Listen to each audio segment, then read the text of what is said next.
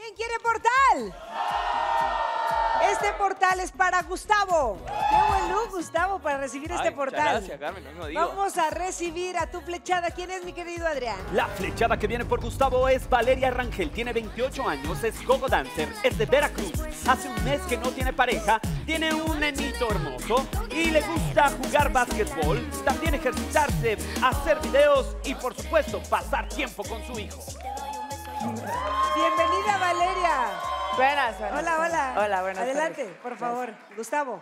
Eh, Valeria, ¿verdad? Sí. Te voy a preguntar, ¿crees que una nacionalidad te define como persona? Claro que no. Claro que no. Eso sería como discriminación, ¿no? Exactamente. Valeria, ¿quisiera saber algo de Gustavo? Todo. ¿En este momento? Sí. ¿Qué? Pues, ¿qué, qué intereses tiene en sus flechadas? ¿Qué, qué, qué es lo que ¿Que te- busquen el Ajá, amor? Ajá. ¿Qué busco en el amor? Busco una compañera, alguien que me transmita seguridad. Eh, guapa, pero creo que está de más porque, por ejemplo, mi flechada anterior era guapa y eso no significa nada. Claro. Eh, y alguien con, con mente abierta. Me gusta alguien que estudie y esté siempre actualizándose, ¿no? Por así decirlo. Bebecita. Ay, bebé, no sé por qué te me hiciste familiar, como Gogo. Dancer, Sí. un hijo. Ay, no se parece a alguien. ¿Tú recuerdas quién? Ay, sí, pero creo que estoy chismeándote, ahí estoqueando. Tú haces algo muy diferente y padre. ¿Te gusta el ajedrez, bebé? Sí. Lo cual la otra nada que ve está medio cucu, ¿no? O sea, sí. Pero muy guapa, bebé. me gusta, me gusta. Somos colegas. Bien. Vamos a levantar este portal, Gustavo. Sí, cómo no. De pie, Valeria. Este es el momento en que los amorosos se encuentran. Te darán la oportunidad de a una cita. sí, me gustaría conocerte. Ay. Más que vino de lejos encima. Muy bien, muy bien. Pues entonces se van a una cita, ya veremos si se ponen a jugar ajedrez o qué será. Tenemos una sí, sí, sí, sí, cita. Cita. Oscarín. A este portal yo le pongo un 8 muy bien, eh, pero no, no se parece a Alexia, la verdad. Yo no la veo. Ningún parecido. No Tienes que decir si se No parece habla o de no se parece, no se Alexia. Alexia. ¿De quién hablaba? No hablaba de Alexia, hablaba de otra persona. ¿De otra? Ah, bueno, entonces yo le vi parecido con Alexia, fíjate. Ah, mira. Entonces, Pues tiene muchos Muchos parecidos. parecidos. entonces. parecidos aquí, Carmen. Bueno. Serrat. ¿Te gustó la flechada o qué onda? ¿Está guapa? ¿Nada malo o qué? Pues aguas, Gus, porque este es bien... Ah, yo no. Yo soy una persona decente, con valores y principios. ¿eh? Ajá. Oski. Eh, o sea que te gusta Alexia, eso No, duda no, me no, quedó. no, no, Ah, no, no, bueno. no, Ya están amarrando navajas No, ahí. No, muchachos jamás pedalearía la bicicleta ajena. te he visto ahí muy pegadito a, a Alexia, pero bueno, voy a estar con más cuidado. Y qué bueno que te fuiste de cita, hermano. Lupita, ¿querías comentarle algo? Sí, nada más eh, quería hacerle una pregunta rápido a Gus de que si alguna vez ha estado con una mujer por su cuerpo y no por los sentimientos. Y, a ver, eh, sí, estar con una mujer por su físico, sí, pero ¿cuánto puede durar? No lo voy a negar. No, ¿al- El nunca, físico se va. ¿Alguno nunca tuvieron una aventura? Creo que todos pasamos por eso, ¿no? Una aventura Todos, nada todos en algún momento de la vida hemos pasado por una situación en la que alguien nos atrae mucho Sí, Sí. exactamente. y no lleva más. Así que bueno, pues entonces... Valeria, Mándeme. ¿te gusta Gustavo ahora en vivo? claro. ¿Sí? Serrat. A ver, argentino, estás diciendo que has tenido Serrat. aventura. Sí es argentino, ¿no? Sí, pero sonó muy argentino. feo. A ver, no estás buscando una aventura aquí, ¿verdad? No, no. Por algo estoy, voy a citas y Ok, etcétera. espero, porque luego salen con otras cosas. Pero, ¿eh? a ver, mi, mi flechada anterior era guapa y no dijo nada. Pues Bueno, te vas de cita. mejor me lo llevo de cita, señores. ¡Vámonos! Así es.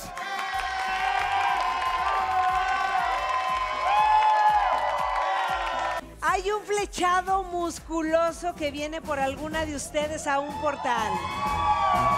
Esto es solamente una probadita. Ahí está el flechado musculoso que viene decidido, decidido de verdad a robarse el corazón de una de ustedes. ¿Por quién vendrá? ¿Alguien se quiere ir apuntando? ¿No? Ah, ¿Suri dice que sí? Ándale. Suri dice que le gustan musculosos. Ya veremos por quién viene. Pero vamos a ver, mientras tanto, esta cita de Pamela y Javo. En esta cita me fue muy bien. Estuvimos en el autocinema. Ya estoy lista. No estuvimos en el auto, preferimos estar más cómodos en unas sillitas, con el aire fresco, Hemos estado viendo una película de terror. Es un poco miedosa. pero igual me encantan las películas de terror. Y pues me dejé apapachar, ¿verdad? ¿A ti no te da miedo? A mí no me da miedo nada. Y pues la verdad que lo hemos pasado muy bien. Y también hablamos de mi hija, que yo sé que Juan Carlos Acosta me va a súper matar porque me dijo que no saliera con mi hija en las primeras citas, pero pues ya lo hicimos. Aparte del programa, pues hemos ido un día al cine también. A la próxima llevamos a mi mamá. Pero que no se entere Acosta. Nos va a regañar. Nos cerramos muy bien, eh, muy contentos. Pues cada vez nos vamos conociendo más. Y pues Pamela, espero que me des otra cita. Nos vemos pronto. Se hayan divertido tanto Mucha en este risa, autocinema. linda, se sí. la pasaron muy bien, una Sí. cita muy agradable. Ya veremos qué es lo que opina Juan Carlos que hayas llevado a tu hija en esta cita con Javo. Pero hay algo que tenemos que aclarar, Javo. Lo sé. Y me gustaría que priméramos- primero viéramos estas imágenes que tenemos tuyas, Ok. porque al parecer, quiero que tú lo aclares, fingiste un autosecuestro. Tenemos la información y ahora nos cuentas. Perfecto. Vamos a verlo. Javo Moros, de nacionalidad española, vino un 27 de mayo a un portal por Pamela. Hasta ahorita llevan dos citas en enamorándonos. Todo indica que es una de las parejas con más futuro en el programa. Pero, ¿qué creen? Hace unos días descubrimos algo muy grave sobre Javo. Una terrible mancha en su pasado. En mayo de 2017, la persona con la que vivía Javo detectó huellas de sangre y rastros de violencia en el departamento que compartían. Estuvo desaparecido muchos días. Todo indicaba que Javo había sido víctima de un secuestro. Sus fans obviamente estaban desconsolados ante la noticia de perder a su ídolo para siempre. Todo indicaba que Javo estaba muerto. Es muy difícil borrar de, de mi mente lo que yo sentí momento. Perdón si me he hecho llorar porque es que es... Días más tarde, Javo Moros reapareció en Ibiza. No había signos de que hubiera sido privado de su libertad, tampoco rastros de violencia. Fue entonces que se descubrió la mentira. De acuerdo con las autoridades, Javo no había sido retenido. Había fingido su secuestro. Es más, había viajado a Ibiza utilizando la identidad de un amigo. ¿Qué fue lo que en realidad pasó con Javo? Es momento de que Javo nos diga su versión, aquí, en Enamorándonos. Que quisimos presentar antes esta información para que el público tuviera un antecedente de Javo y entonces expresar qué fue lo que realmente sucedió, Javo. Bueno, pues para hablar de esto, sin ánimo de dar lástima, y mucho menos tengo que remontarme al, al pasado, 2005 en concreto, cuando mis papás fallecen. Yo creo que de la forma más trágica que podemos acabar, de un suicidio, primero mi papá y después mi mamá. El motivo fue eh, que se quisieron tanto el uno al otro que no supieron que se- quererse a sí mismos. Después de esto, pues yo afortunadamente salí adelante gracias a la música. Me costó mucho, pero pues, pues lo conseguí. Y me di cuenta que durante mucho tiempo viajé por el país buscando algo que ya no iba a encontrar nunca, ni un beso ni un abrazo por parte de ellos. Después de esto, perdón porque se me hace un poco difícil. Después de esto, cuando ocurrió todo el incidente de, Ibiza, yo tengo una persona en España que para mí es como si fuera mi familia. Entonces, eh, momentos previos a un concierto tu- tuvimos una discusión y ella me dijo tres palabras que me dolieron mucho, que fueron ojalá te mueras. Yo di el concierto, lo pasé muy mal y siempre he sido pues travieso y he sido un poco vengativo. Quise darle una lección porque ella vivió el suicidio de mi papá y de mi mamá en directo y creo que, que esas palabras pues estaban de, de más, al igual que estuvo de más todo lo que yo hice. Yo me marché a Ibiza con otra documentación y no la avisé. Cuando encendí el teléfono me estaba buscando todo el país. Todo el país estaba buscándome porque casualmente apareció el cadáver de un chico muerto en mi ciudad, descompuesto y pensaban que era yo. La primera noticia que di fue que por el personaje que yo alimenté durante mucho tiempo de mi carrera, que me había ido de fiesta y acabé en, en Ibiza. Ibiza es como si dijéramos de aquí a Cancún, en distancia. Cometí un error porque la noticia se hizo más grande y después salió la, la verdad a la luz. La verdad es que quise darle una lección, quise, quise que no ocurriera eso que sucedió con mi papá y con mi mamá, de estar años viajando y, y ya es imposible, es imposible que podamos volver a abrazarnos. Pido disculpas, pedí disculpas en España, pido disculpas en México. Creo que de los mayores errores a veces son las mejores lecciones que uno puede dar. Y mi mayor lección es decirles a ustedes que la vida es muy corta, no discutan, no discutan con las personas porque nunca se sabe cuánto se acaba esto. Y la siguiente lección es que de la mayor tragedia se puede sacar el mayor motor y el mayor fuego para impulsarte hacia adelante. Claro, Javo. ¿tienes documentos que avalen tu inocencia? Sí, ya están presentados aquí, ya está todo firmado para ¿Se que los entregaste al- a la producción? Al tanto, sí, así es. Miriam Cervantes. Bueno, yo una de las cosas que veo en tu personalidad, eres una persona muy impulsiva por la inclinación tanto de tu barbilla como de tu frente. Eh, reaccionas de manera primaria y no pensamos en las consecuencias.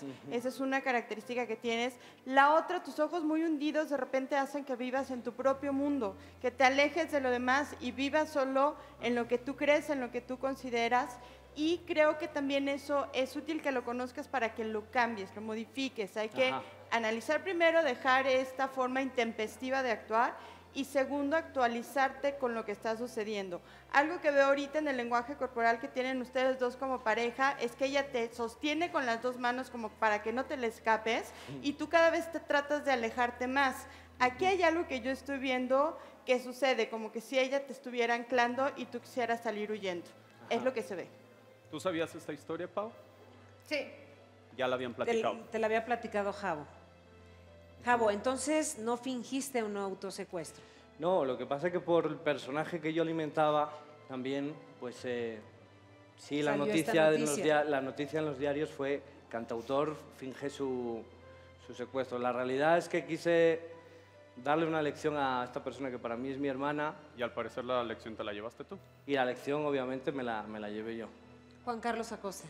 Pame, eh, es, es una opinión nada más y, lo, lo- hemos visto aquí en el programa. A veces han traído como a sus hijos y se enganchan con los flechados y de repente en esas mentes que están como todavía inmaduras de los niños, de repente entender, novio uno, novio dos, ya se fue, ahora llegó el tres, cuatro, ¿quién es? Si le digo papá, no, a mi papá biológico, y a veces si ustedes mismas no pueden como de repente estabilizar como sus pensamientos, saber qué creer, a quién amar, etcétera, obviamente un niño o una niña no lo puede hacer todavía. Sé que tienes un adolescente, pues todavía está más grave, porque bueno, todos sus pensamientos están un poquito ahí desconfigurados. Entonces, la recomendación es cuando tú ya sientas una relación sólida, cuando sea un proyecto de vida armado, cuando ya vayan hacia el mismo rumbo, empieza a involucrar a un tercero cuando los dos ya hayan sido uno.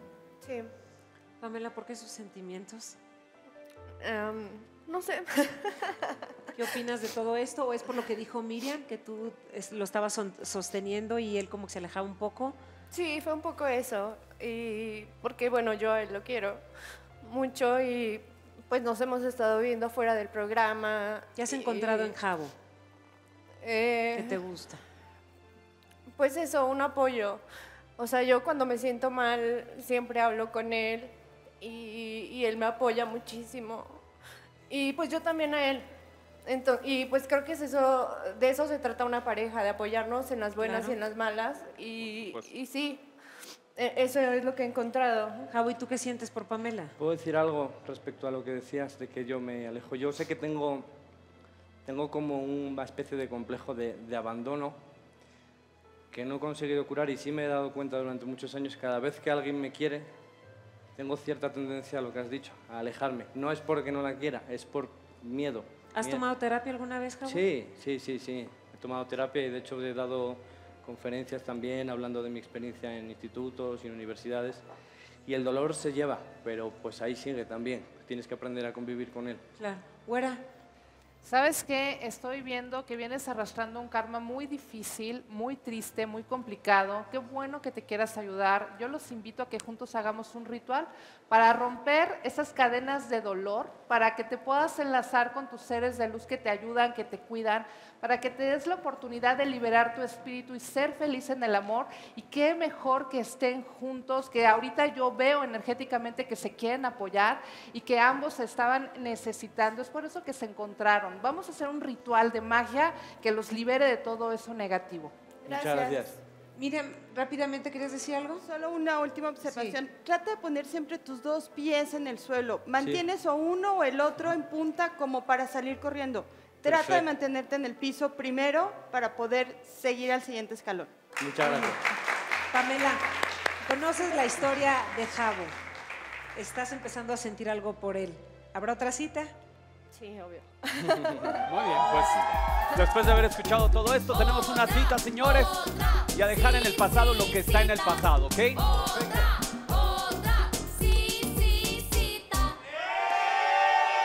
¡Cita! Pues vamos, con esos dos pies bien en el suelo. Seguro la pasarán muy bien, al igual que Han y Brian, que estuvieron muy amenos en su cita. Ay, qué Yo por Jania fui al programa porque se me hizo una niña muy tierna, muy linda. Acepté la cita porque me parecieron muy buenas sus respuestas. Me gustó que defendiera a mi hermana y que me defendiera a mí. Jania pues es Jania y tenía que defenderlas, entonces no podía dejarlas solas. Muy linda, las ternuras. tu estatura está muy, muy hermosa. En esta cita me sentí muy feliz, un poco nervioso, pero pues es que está muy bonita y en verdad que me pongo muy nervioso. ¿Y tu tatuaje qué significa? Son tres espaditas de los tres mosqueteros.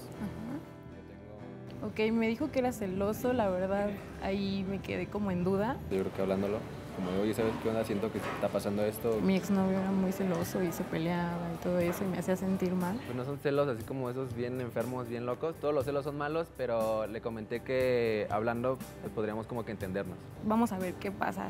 Sí lo quiero seguir conociendo. Con una gran sonrisa y una gran experiencia porque estuve al lado de una niña muy bonita. Y ya chequé tus fotos y toda la onda. ¡Qué lindo! Pues, tierno, mi querido Brian. Esa ternura y esa linda cosa que demostró en su cita. Jania. Jania. Pues la verdad nos la pasamos muy bien, me gustó que estuviéramos hablando mucho y bueno, me- es muy detallista y eso es lo que me gusta. ¿Para otra cita? Sí, también otra cita. ¡Eso! Muy bien. Sí, sí, cita. Otra, otra. Sí, sí, cita. ¡Cita! ¡Oski! Bueno, yo no te conozco tanto, Jani, entonces no sé cómo reaccionas, pero pareciera como si le estuvieras dando la cita como por compromiso a los detalles que te dio, porque en realidad no se te ve como muy ilusionada con él, o no sé si sea como una estrategia que te ha dado tu hermana como para, No. para no sé, eh, no, porque... o sea, eh, o sea, mi hermana no tiene que, nada que ver en esto. Sí, o sea, no. ella nunca me ha dicho Yo qué hacer siento que. Jania es como más Exacto. introvertida, Sí, es un poco tímida, por O eso sea, le a mí me trabajo. gusta que sea detallista. Bueno, eso Es una de sus cualidades que me gustan, por eso es que le voy a dar otra cita, o sea... Lupita, ¿qué pasó? Bueno, discúlpame mi niña, pero bueno, no voy a decir lo que me dijiste directamente, pues yo sé que no le quieres dar la cita. Es mejor que lo hables claramente, hija, porque no se vale de que vengan a jugar con nosotros. Es lo que yo siempre peleo. Y tú sabes a qué me refiero. No sé por qué le diste otra cita. Al rato la que sale mal es uno, porque uno se lo toman a mal por no, por no dejarlos mal a ellos. Y es nuestro error de nosotros por no dejarlos mal a ellos. Así que es lo que no entiendo y reacciona como tú creas, hija. Nada más eso. Es un comentario de Lupita y te hago nuevamente la pregunta, Jania, ¿tú estás segura de tomar una cita con Brian? ¿Lo estás dudando, Jania? Pues es que ya con lo que nos dijo Lupita nos hace dudar un poco, pero claro. la decisión la tienes tú. Pues la verdad es que... Que con ella, Carmelita, y a mí Pero, me Lupis, dijo, perdón. Déjala que ella decida, Lupita. Sí, a ver.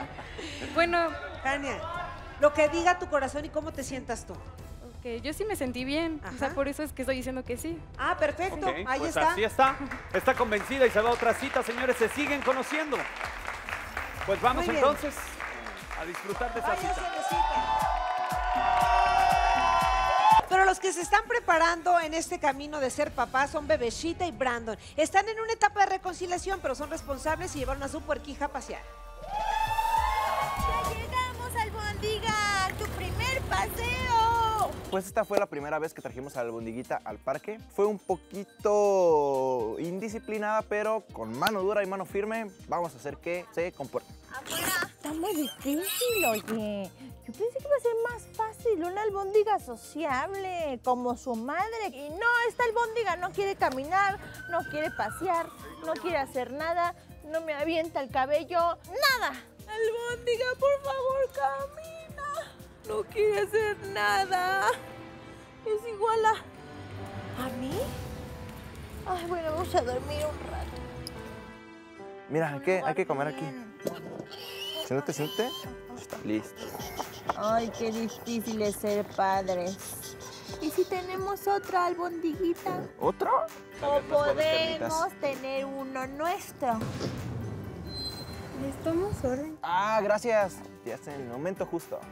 Chapata de pavo, atún, albóndiga. Yo creo que una No se va a comer el mismo. ¿Y para tu bebé? Es que está a dieta, ya desayunó, no le voy a dar comida. Albondiga, está a dieta. Que luego se va a tener que operar y no, carísimo la albondiga. Yo sé que a las mamás tienen que alimentar, pero hay horas adecuadas para hacerlo. Daniela me dejó solo con la niña y no supe qué hacer. Ay, cuídala, cuídala tantito. Esta cita para mí fue increíble. O sea, la verdad es que Brandon y yo como que nos estamos complementando más. ¿Saben qué falta en esta relación? Una boda. ¿Qué tal? Boda, hijos, este, todo. ¿Qué- Bebecita, ¿estás lista para ser mamá? No, es que como que es que me estoy arrepintiendo. ¿Por qué? Es bien difícil ser mamá, súper difícil, no es una cosa de Pues no, nadie dijo que era fácil. dijo que fuera fácil, exacto. bebés, nada. O sea, no puede ser. Brandon, ¿y tú qué opinas? Pues. No, yo no quisiera otra ahorita. Ya después. Ya Ahorita después, no, Diosito pero dirá. después. Diosito dirá. Pero La boda. yo creo que esta albóndiga está eh, pues en pecado, ¿no? Se tiene que tener una familia, se tiene que, que casar. O sea, ¿la albóndiga está en pecado? O sea, es que nació ustedes. fuera del matrimonio. Ah, mira. Oski, veo tu cara de sorpresa, de extrañado. Sí, de ya que- empiezo a sentir como com- compasión Compasión. por el pobre cerdito, pero, pero bueno, piénsenlo bien muchachos, no vayan a hacer algo que después se arrepientan y sea más difícil para los dos. Como adoptar a otro puerquito, por ejemplo. O Yo, hacer el ah, suyo. La idea de la boda a mí me encanta, pero por favor, no, se reproduzcan, por favor. Por favor. Ya te llevas. Por favor. Cerrar. Pues creo que la idea a Brandon no le encanta. Yo creo que no se quiere casar contigo nunca, ¿eh, bebecita? En mi pareja puede, dijo que sí. En- No, exacto, no. ahí dijiste que sí. No, En mi yo dije pareja que puede- por yo ahorita. estaba ahí yo y dije tú dijiste que sí. por ahora no. No, o sea, ahora cuando, hoy, hoy no. Ni Bueno, ¿qué tal mañana? Ni Mañana, pasado, ¿quién ya sabe? después, ya después. Bueno, entonces ya no están peleados ni nada, ¿verdad? ¿Ya hubo reconciliación y todo? Pues no hemos hablado del tema porque ahorita estamos enfocados más que nada en la albondiguita. Es que como que Pues creo- déjenla con el kioski, váyanse ustedes solitos. Pero ¿saben qué? Sellen esta reconciliación con una Kiss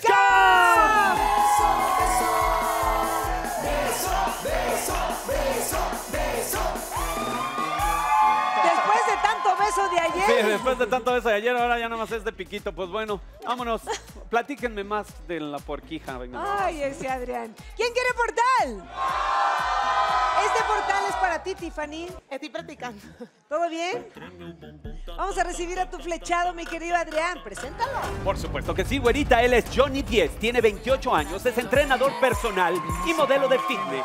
Nació en Medellín, Colombia, hace tres meses que no tiene pareja. Actualmente vive en Toluca. Le gusta, por supuesto, hacer ejercicio, comer e ir al cine. Bienvenido. ¿cómo estás? Es que no escuché porque todo el mundo... ¡ah! Yo... Hola, ¿cómo estás? Mi amor, hola, buenas noches, buenas tardes, ¿cómo estás? Muy este, bien. Disculpa, es que no escuché tu nombre, ¿me lo puedes repetir? Soy Johnny Díez, ¿cómo estás tú? John, Johnny. Johnny 10, pero no tengo 10 poderes, solamente es mi apellido. no son Ah, 10 ok. superpoderes. Ah, ok, está bien. ¿Qué nacionalidad eres? Soy colombiano. Ah, contra, ya escuché. A ver, dime, ¿qué te dedicas? ¿No ¿A qué me- escuchaste? Nada, no escuché nada. Ay, Adrián, ¿le repites a qué se dedica? Por supuesto que sí, güerita es entrenador personal y modelo de fitness. Ahí está. Ok, entonces no tienen ni... Johnny, ¿tú qué quieres saber de Tiffany? Porque creo que se puso un poco nerviosa en Mm. ese portal. Eh, quisiera saber cuál es su mayor pasión. Mi mayor pasión. Sí. Bueno, ahorita en este momento tengo dos pasiones. Una, mis estudios y la otra, mi hijo. Tu hijo, perfecto. Luigi. Este, ¿tú, qué- ¿tú qué opinas de la frase de toda persona regresa a donde fue feliz? Ay, cálmate. ¿Por qué la pregunta, Ay, Luigi? tampoco te Es- creas tanto, es una- Luigi. Es una frase, es que uh, uh, Mira, Luigi, eres mi amigo todo y te mexicano quiero la mucho, dice. pero cálmate. Todo ¿eh? mexicano Tampoco. le dice, ¿no? Pues no, fíjate que yo no la, no la digo. Yo nunca la digo, Yo- y ¿Qué Pues, opinas? Ay, yo, yo opino que todo paquete nuevo es mejor que el anterior.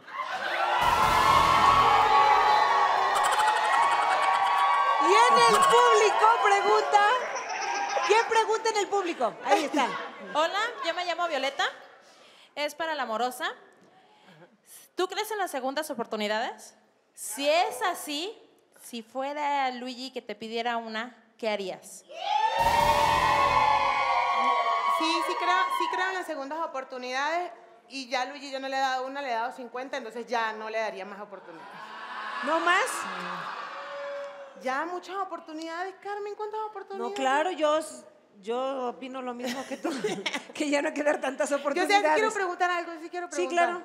Este, lo que pasa es que yo soy muy, muy flojita para hacer, eh, para entrenar y esas cosas. Entonces dime tú, ¿qué me dirías para motivarme? Pues mi amor, si estás conmigo, la mejor motivación es estar a mi lado y llevarte al gimnasio a que entrenemos. Yo te, mejor dicho, yo te enseño lo que no sabes para que te motives y continúes todos los días. Luis Fer. Oye, hermano, ¿tú qué opinas de que de repente Tiffany ande agarrando piernitas por ahí? ¿No tienes problema? De, ho- de hombres, de hombres, de hombres. ¿No tienes problema o crees que ya llegó su macho alfa para ponerlo en orden? ¿Crees que ya llegó su macho alfa para poner orden? Pues yo creo que sí. Oye, oye, no. Oye, oye, oye, oye. Oye, Carmen, Carmen, ¿puedo pedir un favor? ¿Qué favor? Hay chance que me puedas poner así, ¿por qué no? Ponte a Hijo de entrenar. Fer. Ponte a entrenar. Tiffany, vamos a levantar este portal ya. ¿Qué pasa, Tiffany? ¿Estás temblando o qué? De pie. Me Este es el miedo. momento en que los amorosos se encuentran. Ya hasta le taparon los ojos a Luigi. A Luigi, pobre Luigi, bueno. ¿Qué va a suceder, mi querida Tiffany? ¿Te quedaste sin palabras, Tiffany? Pues al- creo que estamos a la distancia. Sí, a la mira, altura. exacto. Altura hasta con tacones y toda ¿Te la quieres cosa, ir de ¿eh? cita, Tiffany? Pues sin palabras, señores, se va de cita. Tenemos una sí, sí, sí, sí, cita. ¡Cita! Bebecita, ¿querías decirles algo? Ay, bebé, mira, eres un mujerón y tienes un hombrezón, ¿eh? Ah, gracias. O sea, como dirían. No, Ay, son- no. estos son hombres, no payasos. Es. Yo, ¡Oscarín! Ni, qué decir aquí, yo creo que ella está feliz. El que está no está tan feliz es aquel. La verdad, de esto no hay en casa, llévatelo ya. De esto no hay allá. Pues entonces vámonos de cita, muchachos. Vamos. Disfruten de esta cita. Después de disfrutar este portal, hay que ponernos serios y preocupados quizá. Porque ya vimos la primera parte de este careo que tuvieron Joss y Ricardo, pero la cosa no quedó ahí. Vean la segunda parte. ¿Te sientes intimidado o sientes que te estamos exponiendo? No, no me están exponiendo. Los veo nerviosos, pero creo que es importante que ustedes siempre digan la verdad. Pero si ustedes se quieren, creo que es un buen momento para aceptarlo si es que es así. Eh, yo te pregunto a ti, ¿a ti te gustaría venir a un portal por ella? ¿Salía contigo aún cuando ella estaba saliendo con Emilio? Solamente una vez en el video que me mostraste. O sea, ese video cuando se besaron era cuando ella salía con Emilio. Yo no Sí. sabía si, si estaba saliendo con él. Según yo fue después. ¿Tú sientes algo por él aún? No sé, o sea, no te podría contestar ahorita si yo quisiera algo ahorita bien con él. No es fácil porque, o sea, no quiero No, sí, no es fácil terminamos. porque le mentiste. La No culpa no te deja vivir. Es La evidente cul- que no nada más sí, también te tiene engañado a ti, mi querido Ricardo. Y solamente te estoy pidiendo que ya no nada más la salves a ella, sálvate tú. Entonces parece que antes de este video, para que ustedes llegaran a este punto y besarse en un antro, ya tenían algo. Y más que eran exnovios, ¿no? ¿No es así? Sí. o no? ¿Por qué la Sí. besa ella? Ven a mí. Sí, nos besamos en el se besan siendo exnovios. Hay una cuestión. Tú antes de tener el polígrafo con Yua, aceptaste que sabían que él te había besado. Sí. ¿Por qué ese día después dices que no? O sea, que la gente haya visto que me besó la boca o quiera meter más cizaña en eso, no. Me besó aquí. ¿Vas a quitar tu relación de Facebook? ¿Sí Ya la no? quité desde el viernes. ¿Qué les parece si nos siguen comentando en el foro esto? Porque parece que hay muchas cosas que no están de acuerdo. Que no concuerdan, sí. Parece Ricardo, ¿por qué no te habías presentado en el programa? Porque no tenía, tenía cosas en la escuela y no podía venir. Tú dices que no habías quitado tu estado de Facebook, de que estabas en una relación con Joss, porque no tienes tiempo. Los chavos ahora se la pasan en las redes sociales. Sí, sí. Desde un teléfono puedes hacerlo. ¿Cuál fue la intención de no quitar el estado? Sí, lo que pasa es que ahorita no tengo celular. Una Entonces, tablet, una computadora, Sí la tengo, pero ahorita estaba enfocado en otra cosa, que son mis estudios. hasta un Entonces, café internet, ¿no? ¿Hace cuánto tiempo no son novios? hace tres meses. Lo dijeron ahí en el careo, ¿desde marzo? Sí, abril. Abril. Abril, abril. ¿Qué es lo que tú sientes por Joss? Pues obviamente siempre va a, va a haber un cariño hacia ella y, y pues sí, sí la quiero. De Este hecho, cariño- Miriam, Perdón, ¿este cariño está relacionado a la relación que tienen sus mamás? Pues muchas cosas por, por la forma en que... Porque sus mamás son amigas, Sí. ¿cierto? Y también Y por ellos la también forma son en- amigos. somos amigos y por cómo nos llevamos, por eso existe ese cariño. la intención de que estuviera Miriam Cervantes en este careo es porque ella es una especialista en el lenguaje corporal.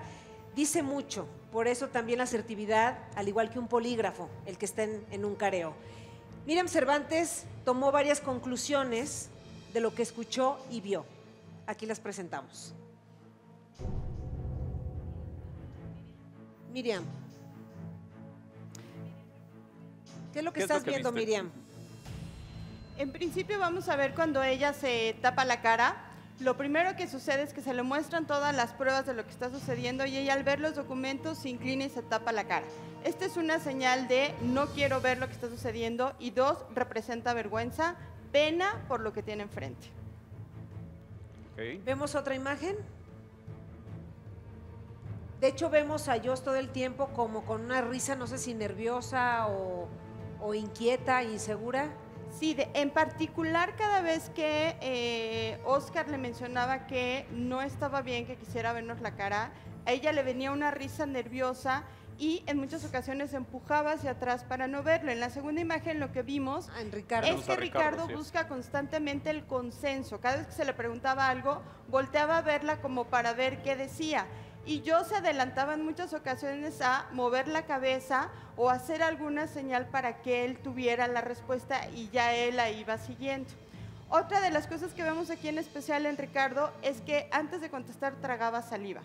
Por muchos estudios está demostrado que cuando nosotros vamos a responder algo, si antes tragamos saliva es como si nos estuviéramos tragando primero la verdad para después decir lo que tenemos pensado o visto. Tú tiendes mucho a ver hacia arriba, Ricardo, cada vez que se te preguntaba, y hacia la zona izquierda. Esta es la zona donde nosotros construimos, creamos, es decir, no, eh, perdóname, hacia la derecha. Es donde nosotros creamos porque hay sus situaciones que no tenemos en la memoria, sino ahorita las estás creando. Puede ser una mentira o una situación en la que tú tienes que tener este de acuerdo. Aquí vemos exactamente cuando otra vez Joss se le, se le muestran cosas y se vuelve a tapar la cara como diciendo no lo quiero ver y además se echa hacia atrás, ¿no? Como para alejarse de la situación, como para decir no estoy aquí, no lo estoy viendo. Sí hay una risa nerviosa constante durante todo el careo, sí hay esta circunstancia de la dominación con la mirada, lo acaba de hacer ahorita que le preguntaste a Ricardo que si él tiene interés en ella y ella volvió a verlo como para ver qué vas a decir, ¿no? Exacto. Hay un control, aquí lo que veo de parte de ella, hay un control hacia él para sus respuestas. La conclusión que yo les puedo dar en este momento es que hay un consenso, que de alguna manera entre ellos llegaron a un acuerdo de eh, no mostrar una relación.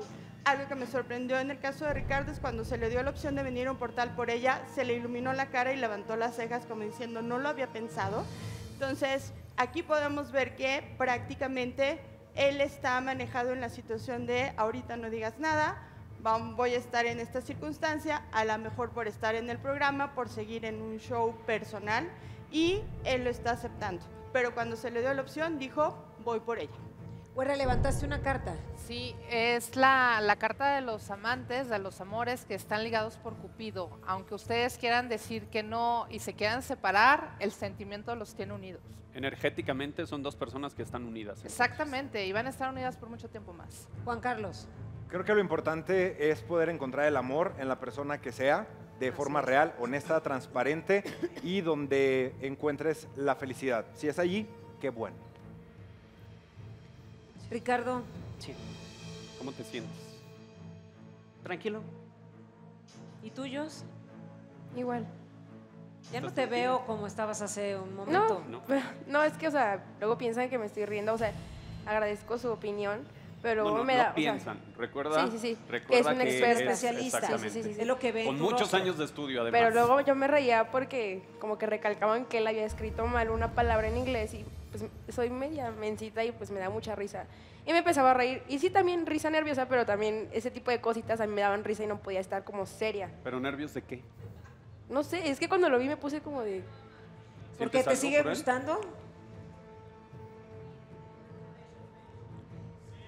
Creo que tienes todavía muchas cosas que solucionar en tu cabeza, Jos. No puedes estar jugando con el amor, no puedes estar jugando con una persona, ni con flechados que estén interesados en venir a conocerte. Tienes que ser muy clara con tus sentimientos y ser congruente con lo que piensas y haces. Ricardo, ¿tú quieres decirle algo a Jos? Pues, Muchachos, por favor. pues sí, siempre la voy a, a seguir queriendo como de toda la vida. ¿Qué tan importante es para ti, Jos? Demasiado y ella lo sabe. ¿Por qué no se ven de frente, yo? ¿No quieres escuchar de frente lo que te está diciendo Ricardo? Es que no puedo. ¿Te cuesta trabajo verlo a los ojos? ¿Por qué, Jos? Porque pues yo no quería que termináramos. Y pasaron muchas cosas medio fuertes. Entonces, no, no sé. Ricardo. ¿Crees que Jos es el amor de tu vida? Yo creo que sí. Pero, pero Jos está un poco confundida con sus sentimientos, así que en la última de enamorándonos tendrás que dar una resolución porque Ricardo está aquí dándote la cara. Y todos queremos saber qué va a suceder con ella. Gracias por acompañarnos. Nos vemos en un momento. Esto fue ¡Enamorándonos! Quédense con la voz en vivo. Ya.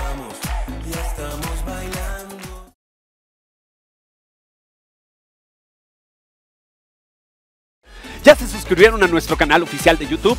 Únanse ahora a los más de 4 millones de seguidores que disfrutan los programas completos, citas, portales y mucho más contenido de Enamorándonos. Lo único que tienes que hacer es dar clic aquí arriba y suscribirte.